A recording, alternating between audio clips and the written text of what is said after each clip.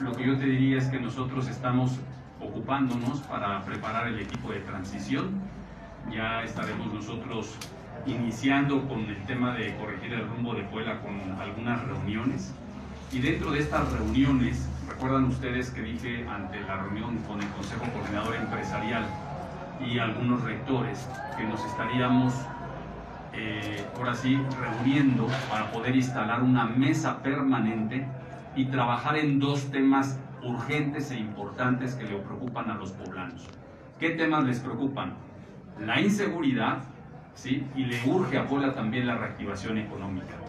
Esta mesa permanente, mañana estaremos estableciendo un comunicado de la instalación de esta mesa con la participación del presidente del Consejo Coordinador Empresarial, con la participación de quien encabeza el consorcio universitario de universidades aquí en el estado de Puebla.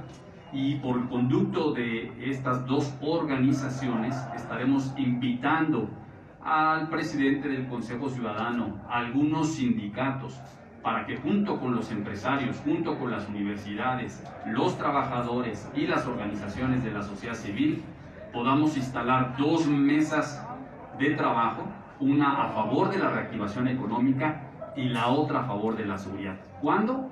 A partir de mañana. Mañana mismo se instala esta mesa central. Después tendré ya reuniones posteriormente con